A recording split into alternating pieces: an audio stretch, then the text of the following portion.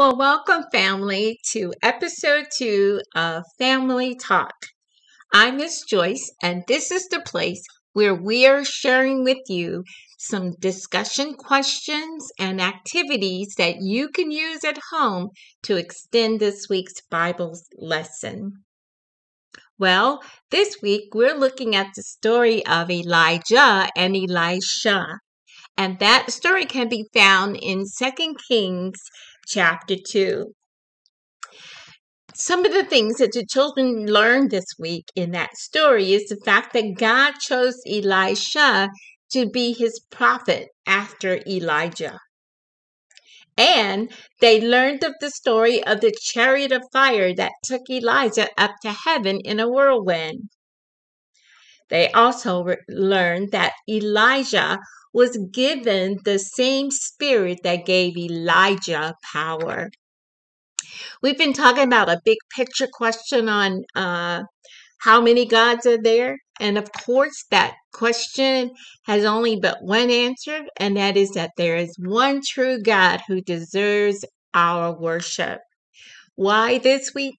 Because we see that God gives his followers or believers his Holy Spirit so that they can share the gospel with the world. Some questions that you can ask this week. One, what was the significance of Elisha parting the water? Ask them to describe someone whose faith has encouraged them. Ask the question Can we obey God by our own power? And follow up with a why or why not. Ask the question Who does God give us to help us share the good news of Jesus with the world? And the activities for this week. Come together as a family to practice sharing the gospel with each other. We'll post a resource on this site that you can use as a tool. Practice using different times and places and people that you can share the gospel with.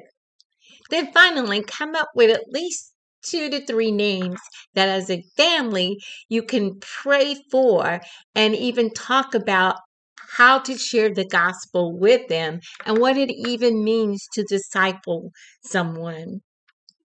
Write those names on a sticky note and display, display them prominently around the house.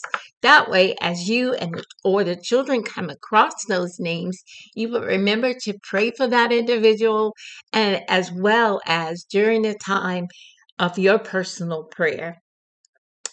Think of a time when you can actually practice sharing the gospel with them.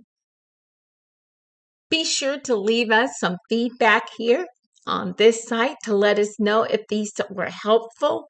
Uh, if you have any questions, don't hesitate to reach out to us. Well, this week that's it. But next week we'll be talking about Elisha and the army.